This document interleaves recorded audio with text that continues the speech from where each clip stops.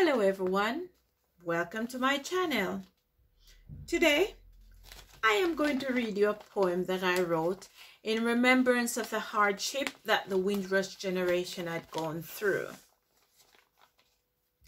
It was in 1948 when people from the Caribbean was invited to the cold grey land of England. They left with their little grips, leaving families, sun, sea and sand behind for 28 days on a ship. Yes, the Empire Windrush that rocked from side to side on huge waves. All appeared to be merry when the ship docked at Tilbury Harbour, setting foot on the so-called motherland. Looking around was only dark grey smoke rushing out of chimneys that appeared to be factories.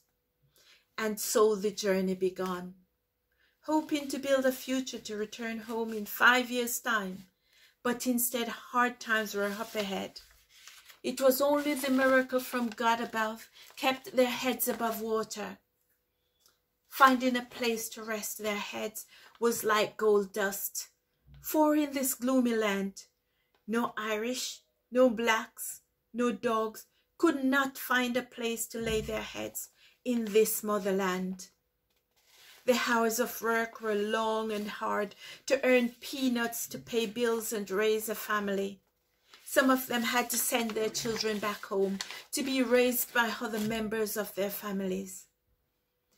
As life got harder each passing day, they had to rely on the good old partner and juggling jobs to get by.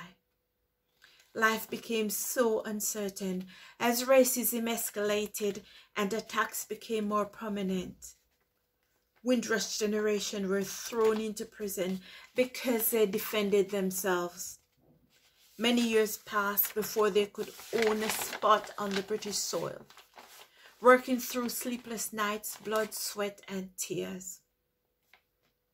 74 years passed, but not a lot have changed, although they had managed to take root into this land, making marks and build a variety of foundations.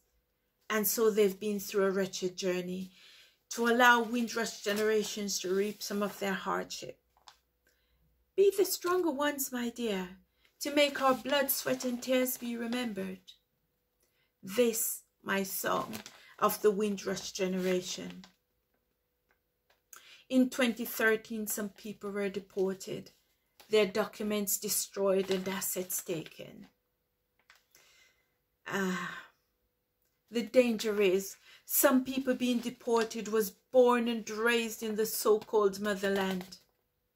Continuous hardship is still ahead. Oh, what can we do to please this nation? This dilemma seems to follow. Guys, that's the end of my poem. if you like it, give me a thumbs up. Leave a comment in the comment section. Continue to like, subscribe, and share. That's all for now. Take care until bye.